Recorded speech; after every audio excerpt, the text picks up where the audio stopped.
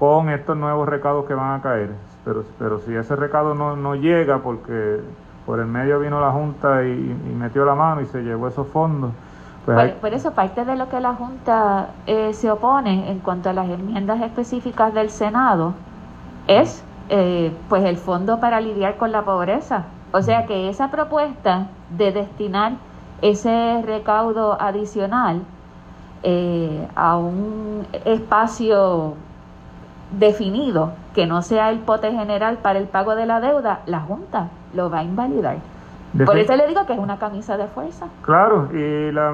yo creo que la, mejor carta que tiene la legislatura eh, ante la Junta es ese plan de ajuste de deuda, porque es la es el, si uno lo mira en términos de una teoría de juego, donde más tiene regateo es en eso. Y, y, bueno, en el caso particular de ese fondo, eh, la Junta tiene más de 10 mil millones de dólares eh, que, ha, que ha ido guardando a través de los años con el, con el stay de la deuda. Y de ahí que va a salir el pronto de los 7 mil y pico de millones, pero todavía quedan 2 mil millones aparte, que de ahí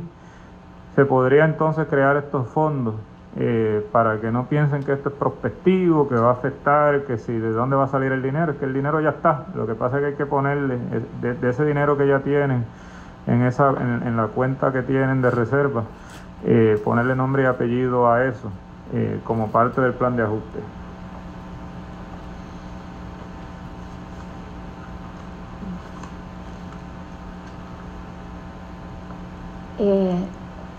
Fíjese, todavía a mí no me queda la certeza de que nosotros tengamos actualmente bajo, bajo la imposición de la ley promesa, bajo eh, los procesos del título 3 de quiebra, bajo Laura Taylor Swain y la Junta de Control Fiscal, la capacidad de sacar un dinero que esté destinado al mejoramiento de de las condiciones laborales de los empleados públicos, a la contratación de más empleados públicos o algún fondo de desarrollo económico, porque cualquier disposición que nosotros hagamos, disposición legal o lo que fuera, que nosotros hagamos sobre eh, reservar un dinero, va a ser impugnado por la Junta de Control Fiscal y eh, la jueza Laura Taylor Swain va a, va, va a votar a favor de la Junta, va a decidir a favor de la Junta. Siempre. Y, y ante esa camisa de fuerza que no hay para dónde soltar, o sea, la legislatura, y, y, vuelvo y lo traigo, estamos hablando de las leyes 20 y 22, pero no podemos eh, sacar el asunto del plan de ajuste de la deuda, porque por más enmiendas que hagamos a las leyes 20 y 22, esos chavos van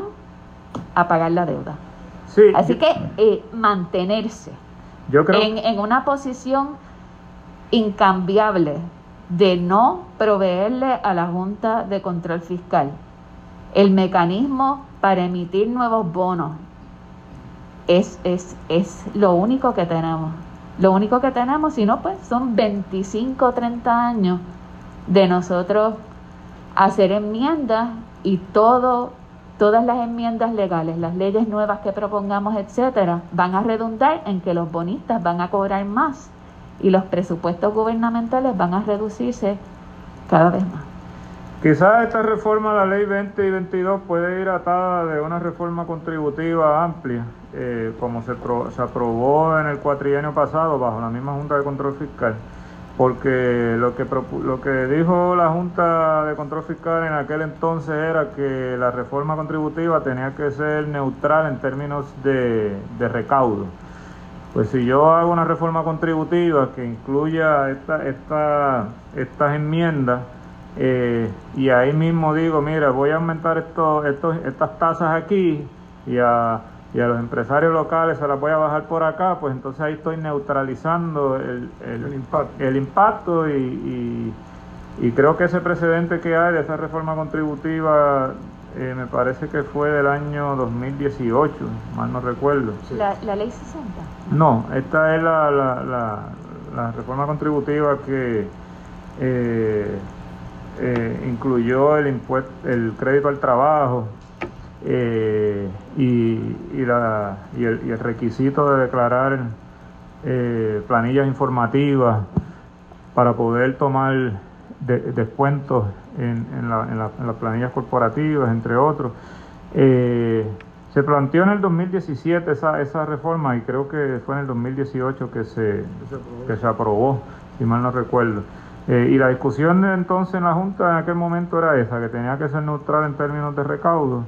Así que por eso eh, mi recomendación es que se amarre, que no simplemente se suba la tasa, sin amarrar entonces el área de, de, los empresarios locales, porque entonces sí, pues ese aumento iría directamente a, a, pagar la deuda de, del gobierno de Lela. Muchas gracias.